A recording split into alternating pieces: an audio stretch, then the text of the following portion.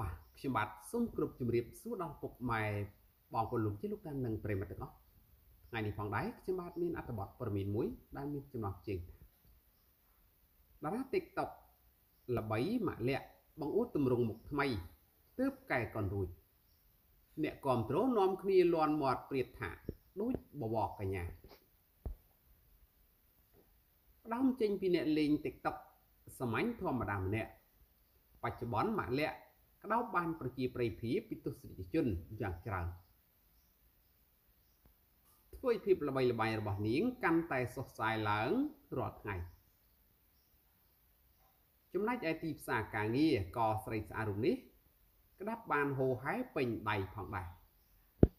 ខ្លាចជាអ្នកតំណាងឲ្យផលិតផលជាច្រើនខណៈកំពុងយីអ៊ុនឡើងស្រើស្រើ ចំណែកលុយកាក់ក៏ហូរចូលដូចទឹកថ្មីថ្មីនេះស្រីស្អាតលាក់ស្រាប់តែបង្ហាញសម្រស់ទម្រង់មុខថ្មីនៅលើគណនី Facebook Page ដែលនាងអះអាងថាទើបនឹងកែកុន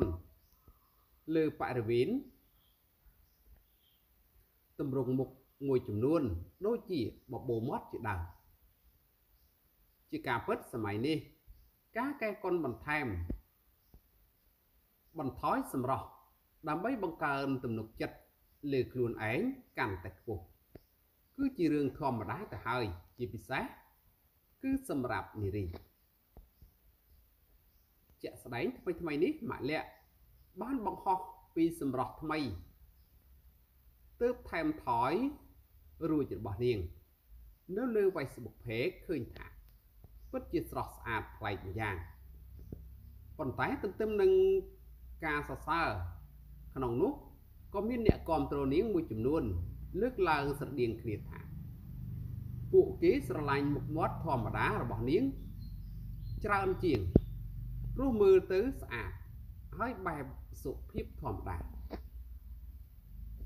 តែយ៉ាងណាតារា TikTok ដ៏មានប្រជាប្រិយភាពរូបនេះព្រមទទួលយក នៅរាល់មតិលើកឡើងរបស់អ្នកគ្រប់គ្រងមិនថាសម្រស់ពីមុន ឬពេលនេះទេ គឺសុទ្ធតែជាមុខមាត់របស់នាងដដែលទេបាទហើយអត្ថបទព័ត៌មានដែលខ្ញុំបាទបានជម្រាបជូនខាងលើនេះក៏មានតែប៉ុណ្ណឹងសូមអរគុណសូមជម្រាបលា